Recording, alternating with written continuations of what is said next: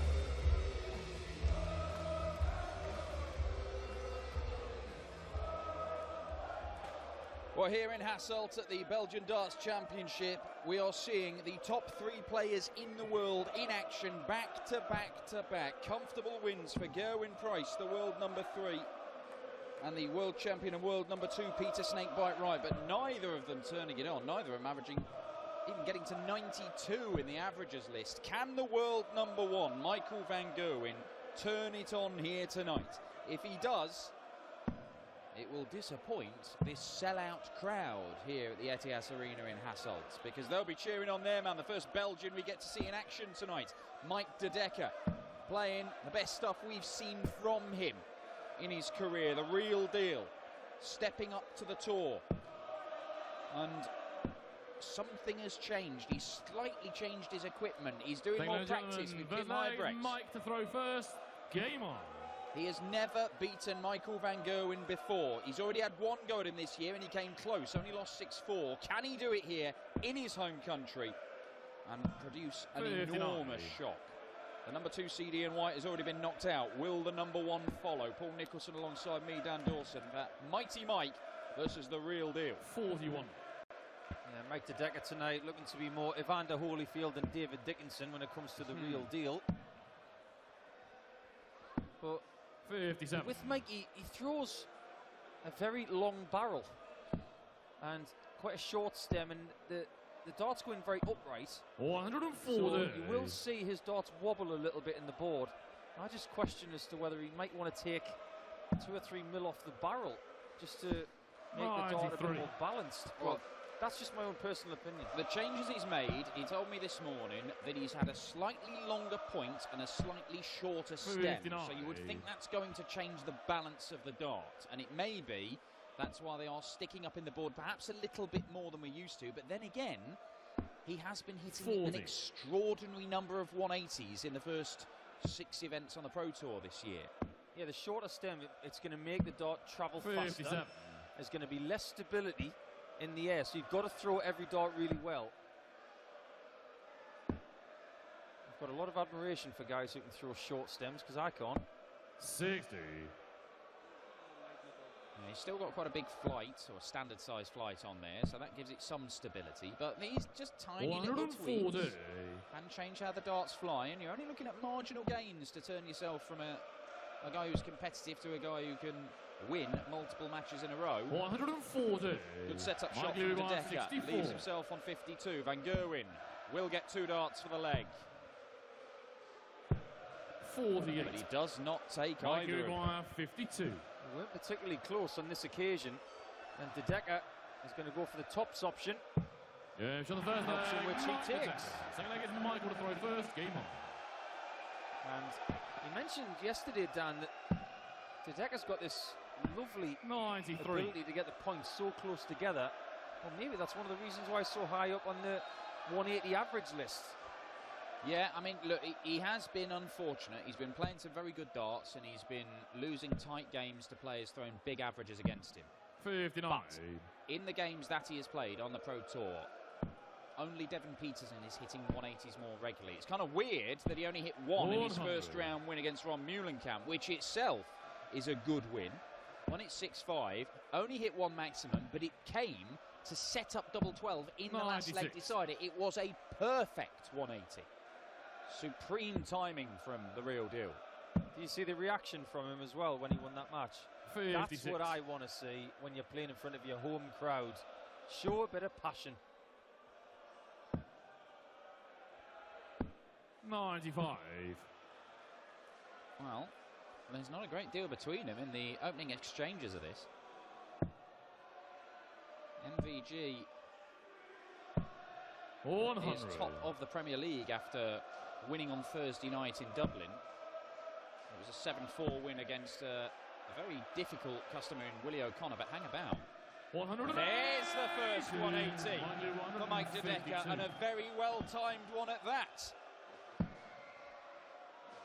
The 152 is not going to go. 134.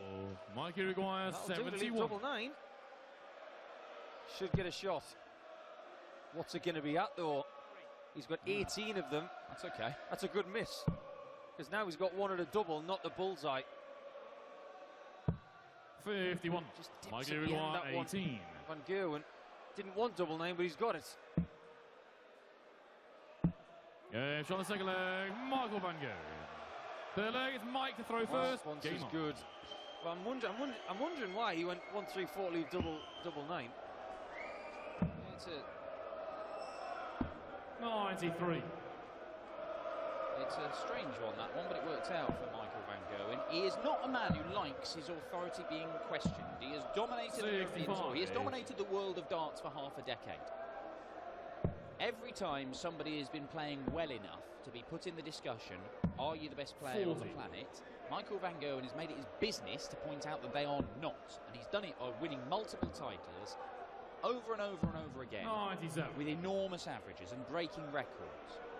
At the minute, we've got two players who you can genuinely put up there with MVG and make a case for them being better than him at the moment.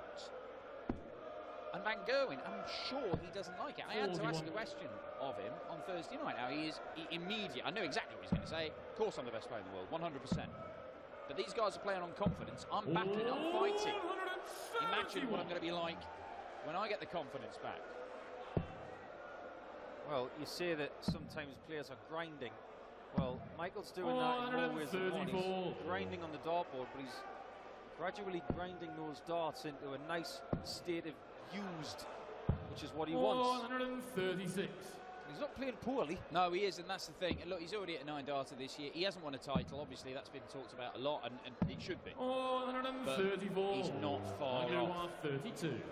And the Euro Tour might well be the place for him to start Michael van Gerwen. this year. That's a 13 Full leg, darter to go into the lead. Game on. Well, De Decker's looking to do a Watford because let's face it, Van Gerwen is the Liverpool of darts right now, 100.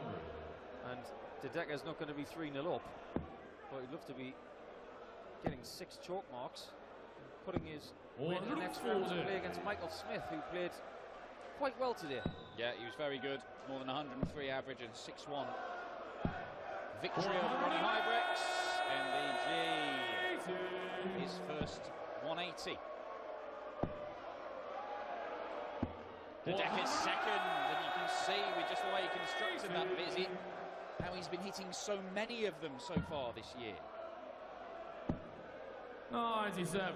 Remember when a player stays still on the third dart, and we've got two in there, there's no walking forward. Stayed perfectly still, and even before he threw it, his body position was so good that he just was going to hit it. Now, will he get a shot at the ball? He won't. De Decker should equalise. 56. Michael Seven Maguire, tops, is that the 46. route? It is. Low again. Wide on the double ten. Mike De Decker misses two darts there. He missed a dart in the second leg. These are chances that you need to take against the best player on the planet.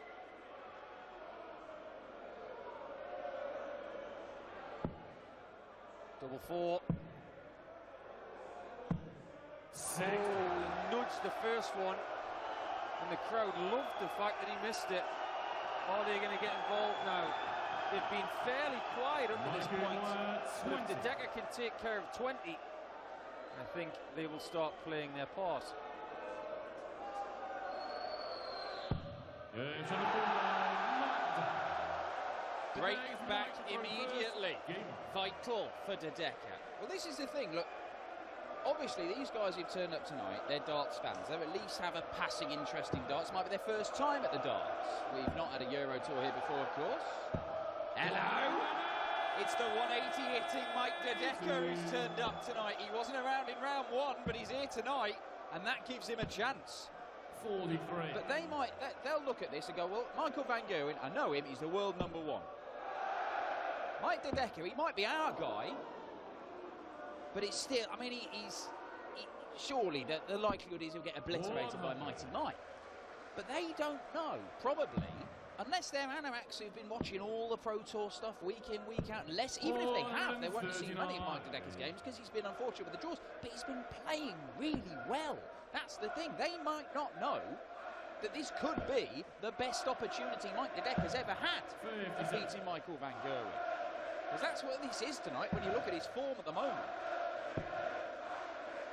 Van Gerwen sensibly from 99. 319, going Michael 19th first. 164.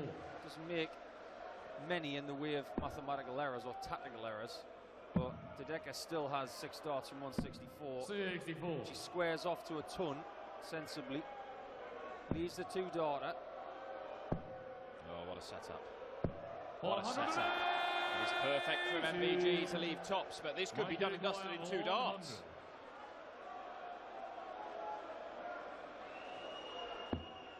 Oh, he's got to go top tops, surely. Oh. It was neither here, it wasn't there. I'm not sure what it was. But 76. that dart was so upright underneath the 60. 40. I don't even think you can see tops. Yes, on the fifth leg. Well, Michael three consecutive breaks of throw, and the world Sixth number one does Michael reassert himself in this one. Game on. Yeah, grimace from De Decker. There were, there were bad darts, and then there were just horrendous ones, and that was the latter. 60. Was in a good position there, but that 180 from Van Gerwen changed that leg completely. If he only hits a 59. ton there, for instance, it's a totally different leg. De Decker probably doesn't go tops tops. He might go 16s, and 100. Van Gerwen seems to be turning the screw now. Six 180s in this match. We're only in the sixth leg. 100. You're a fan of that Van Gerwen uh, social media ad, aren't you, where he honked the horn? Oh, yeah. Do you know where he buys his trucks? It'll tell you. I can't remember. It's something like I buy trucks.com or something. The little. Yeah. That was great fun. That definitely made my 57. day when I saw that. Hey, look, you, you may say that it's ridiculous for the standard bearer of this game to be honking kiddies' toys, but if somebody comes and offers you a truckload of money, I'll do whatever you like, pal. Oh, Taylor was uh, an advocate 133. for a ladder company, wasn't he? Absolutely. Well, with the World Podium ladder, it really does feel like you're standing on the ground. It's the unique toe guard that does it, but I digress. Because Mike De Decker has pinned that treble 19 again. He's hit loads of those in this game. Can MVG hit tops? Yes, he can, and he does, and he opens up a two-leg gap. And Michael Van Gerwen is getting a stranglehold on this game. He is being forced to play well here. The average is up towards a ton. It is better than what we've seen from the two pretenders, the men who want his title of best player in the world at the moment. Price, yes, it was a comfortable win, but it wasn't devastating. Peter Wright, another comfortable win, but nowhere near his brilliant best. You've seen more of Michael Van Gerwen this year than probably any other analyst. in my 81. opinion. Do you get the feeling with this performance tonight that he's that confidence has just jacked up another percentage just with some of the shots that he's taken out? He looks really assured to me. 174. And there you go, there's a 174 just to process that again. Well, you know what? we- We've said it many times when players change equipment 45. that it's not necessarily they can go up there and smash in 180s and treble 20s over and over again, hit big averages. It's often the finishing, it's how comfortable you are in those pressure situations. There's no doubt then that Michael Van Gerwen, and we've seen him do it on the Pro Tour already this year, can go up there and average 107 and make it look child's play. We know that. So when he's put under pressure, is that can he rely on this equipment just yet? He needs to do the stuff that he's been doing for the last 10 years Michael Van Gerwen. with these new darts, and then he will feel confident. And this is the sort of stuff he puts him under pressure and he knows that those shots, those 98 checkouts, those 180 setup shots to leave tops under pressure, that he can pull them out the bag. And then the equipment, it just it doesn't even matter anymore. Krzysztof Ratajski took two weekends to get used to his new darts. It's not taking long. But Michael Van Gerwen is judged by different standards.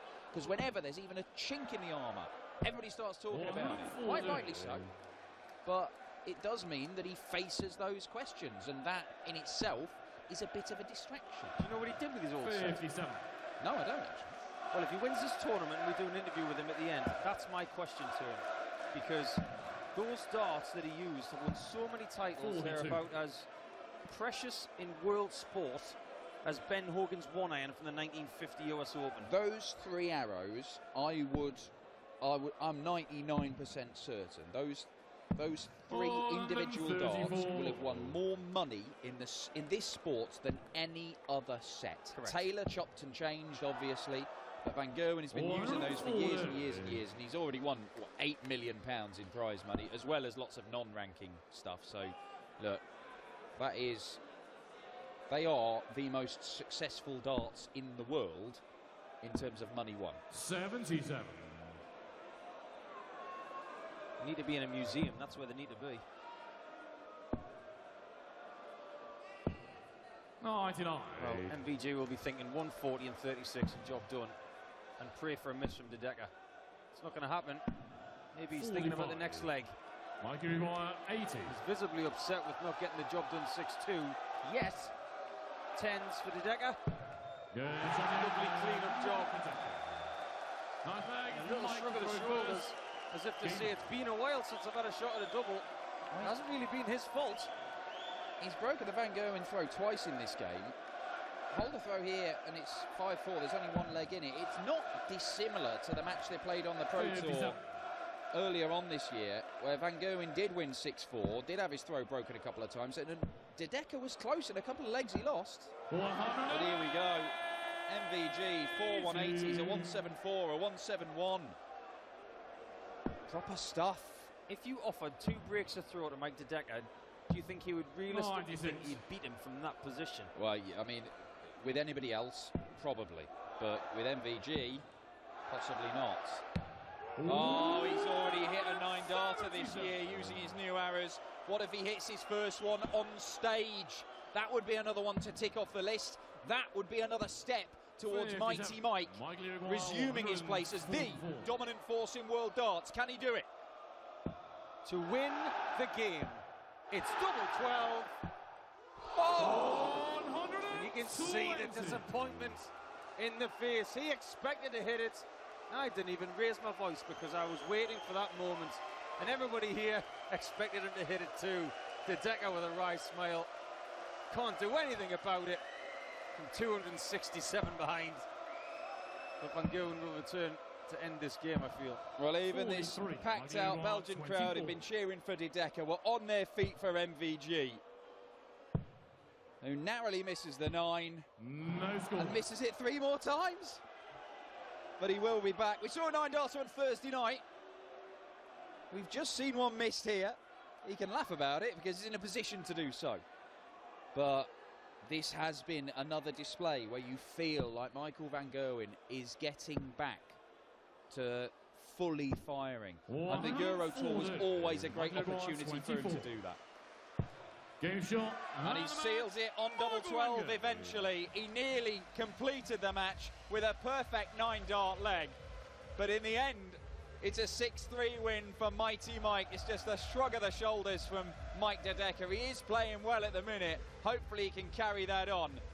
But Michael Van Gerwen, for the last five years, has reached the final at least in every single Euro Tour event, the first one of the year. He's won the majority of them. He is on course to carry on that record. It is a mouth-watering clash with Michael Smith for MVG tomorrow afternoon.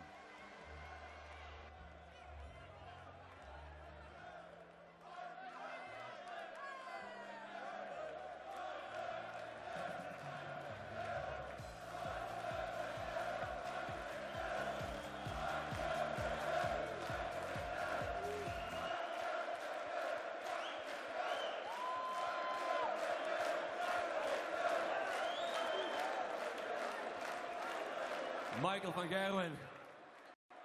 Scoren was geen probleem. De dubbels die begon ook eh, lekker te vallen.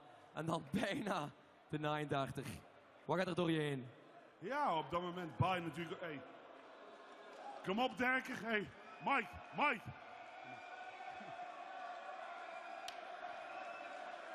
Nee, het is natuurlijk. M- Mike, Mike is natuurlijk een fantastisch talent en eh, dat weet iedereen. Alleen ik zei net ook tegen hem: gebruik je talent nou eens. Hij denkt altijd heel veel na. En het is een fantastisch dat om tegen te spelen. Het is een, hele goede scorer. Maar ja, om dan hier tegen hem te spelen, dat maakt natuurlijk niet makkelijk voor jezelf. Ik maak me eigenlijk een beetje onnodig moeilijk in het begin. Ik mis de twee legs die hij wint, alle twee legs, twee pijlen. En dan wil je de het publiek iets teruggeven, negen ren. Ja, dan baal ik natuurlijk dat, dat ik dat niet kan doen. Maar eh, ik, ik heb zeker genoten. We zijn niet heel ver over de grens. En eh, ik wil jullie allemaal heel erg bedanken. Het was echt, ja, ik, ik, heb genoten. Ik denk dat iedereen heeft genoten in Hasselt. Hasselt, hebben jullie genoten? Morgen tegen Michael Smith. Met een geweldige average vandaag. 103 als ik me niet vergis. Zien we dezelfde Michael van Gerwen morgen? Ja, natuurlijk kunnen jullie zelf Michael zien. En ik wil jullie nog meer horen morgen. Een beetje gas erop, hè? Dat kunnen jullie toch? Dames en heren, laat jullie horen voor Michael van Gerwen!